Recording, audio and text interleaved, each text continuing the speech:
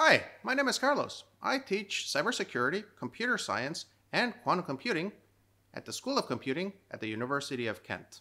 And last weekend, I went to watch Ant-Man and the Wasp Quantumania. Here are my thoughts about the movie and how it touches upon some interesting concepts in science, like the multiverse. So I went to watch uh, Ant-Man and the Wasp Quantumania last weekend. It was okay. My kids enjoyed it.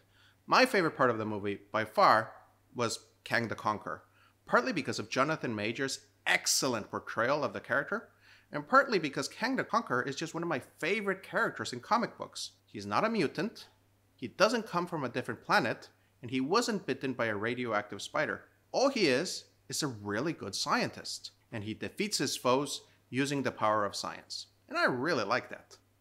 Another reason I went to watch that movie was because of the word Quantumania in the title.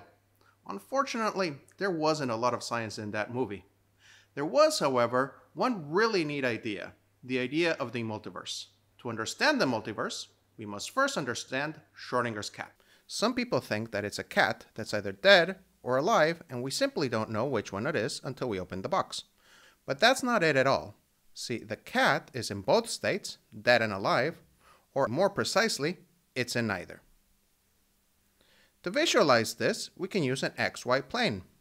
The x-axis would represent a dead cat, the y-axis would represent an alive cat, and our Schrodinger's cat is in a diagonal, which is neither dead nor alive. We call this state a superposition.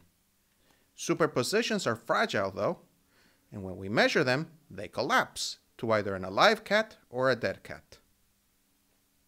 So where does the multiverse come from? To see that, we have to look at Schrodinger's cat a bit more precisely. We can start by looking at a single atom or a particle inside the box. We know that as long as we keep the box closed and we don't measure it, that particle can be in a superposition of incompatible states. For example, an electron can be in a superposition of a low and high energy state.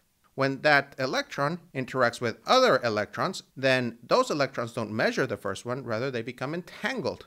And now they're all together in a superposition. Schrodinger comes along and notes that a cat is simply a collection of many atoms or many particles.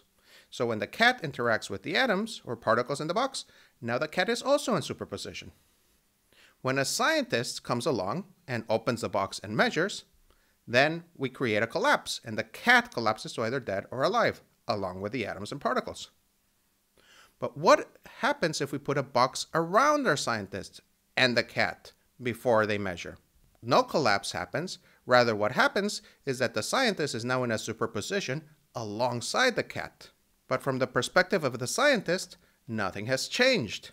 Or rather, I should say, from the perspectives of the scientist, nothing has changed. Because now there are two scientists. One scientist measured the cat being dead, another scientist, in superposition, measured the cat being alive. But there's nothing in physics limiting the size of the box. In fact, we can make this box as big as the entire universe. So that when we measure the cat, we put the entire universe in superposition. Hence, many worlds or many universes in superposition. A multiverse. So there you have it. That's quantum theory in a nutshell. Now, it might not make a lot of intuitive sense to us humans, but it is a really successful theory. Richard Feynman, one of the greatest scientists of all times, described the accuracy of quantum theory, and I'm paraphrasing here, to be as accurate as measuring the distance between New York and Los Angeles to within the width of a human hair. So, that was my weekend. How was yours?